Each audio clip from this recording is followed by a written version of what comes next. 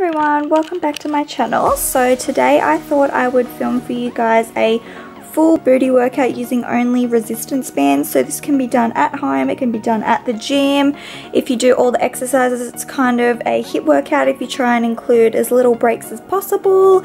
And um, Or you could just include some of these um, exercises into your um, usual leg day. But I hope you guys enjoy. So I'll get straight into it. I always start every workout with stretching. Um, no matter what it is, I'll always stretch my legs. Um, if I'm doing upper body stuff, I'll obviously stretch my upper body as well, but I love just stretching my legs just to ensure that I'm having flexibility and everything like that during the workout. So that's what I've included. I hold every pose probably for about 30 seconds if you can. Alright, so with the workout there's three different circuits and each circuit has three different exercises. So you'll do the first circuit through three times and doing each um, exercise for about 15 reps, some for 20, depending on how you feel. If you can push through to the 20, do so, but if you can't bear it anymore, then do the 15.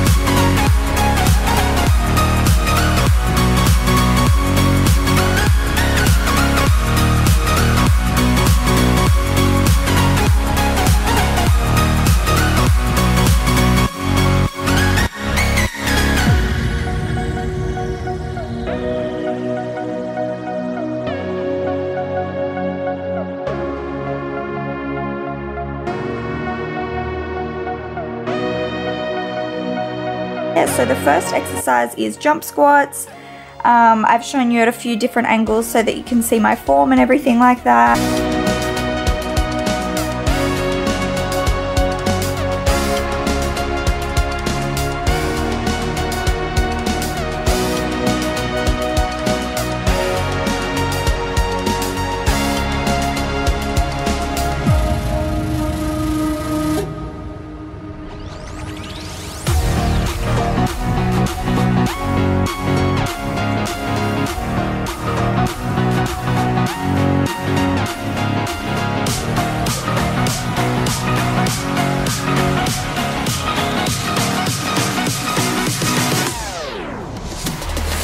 Straight into donkey kicks or yeah straight legged ones. Um, these are really good at targeting the glutes. And then I'll move straight from that into fire hydrants which is really good for your outer glutes like the sides of your glutes.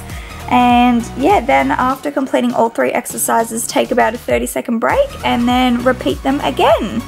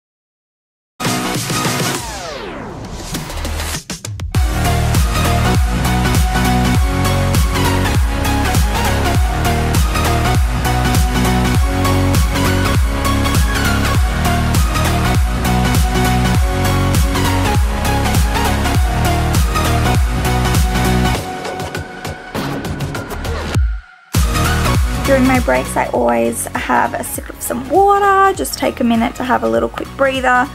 And yeah, then moving straight on into our second circuit. So after you've completed the circuit, the first circuit three times, then move on to the second circuit.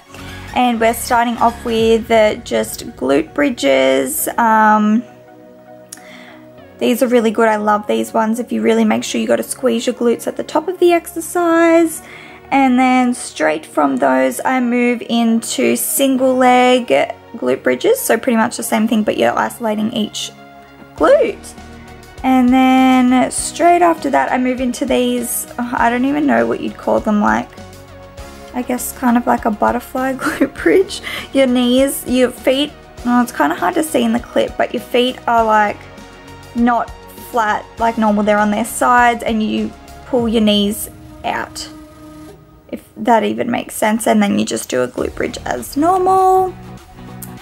Then take your 30 seconds break and repeat that one two more times.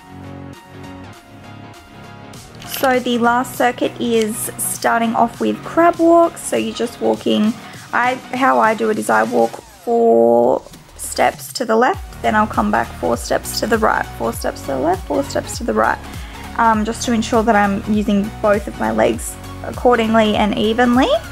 But um, yeah, that one's really good. That one burns. Then I move straight on into side lunges. These ones are actually killer. I always forget about these, but I love them. I always wake up the next day sore from these. But um, yeah, I've shown you those at a couple different angles as well so you can see my form. And then straight after that, I move into, I don't even know what these are called, but like plank kickbacks. So you're kind of in an up, like a high plank. And then you like kick, it's kind of, uh, kick your legs back a bit kind of like a donkey kick, but not as high. So this one's including your upper body and your abs as well, which is really good. And also get your heart rate up and then once you've completed that circuit two more times after you're resting, you are done. So that one's a nice, quick and easy workout. It can be done, as I said, as a HIIT workout or include those exercises into something else. Um, yeah, I definitely woke up the next day sore. I usually, if I just do resistance band work, don't usually wake up sore, but yeah, I woke up really sore from this workout, which is good. Um, also, the resistance bands that I'm using, I'll leave a link in the description bar below where you can purchase them and if you use my code Taylor10 you'll get some money off which is really good. They're actually really good like I've, you've seen me use resistance bands before and those ones were okay but they used to roll all the time and like I guess like they were getting a bit old and the lettering had faded on them and everything but these ones are really nice they're purple so that's that's a positive um, and yeah, they're really strong, haven't let me down yet. So I'm really liking those ones. But yeah, I hope you guys have enjoyed the workout today. And if you did, make sure to like and subscribe. And I'll see you guys next time.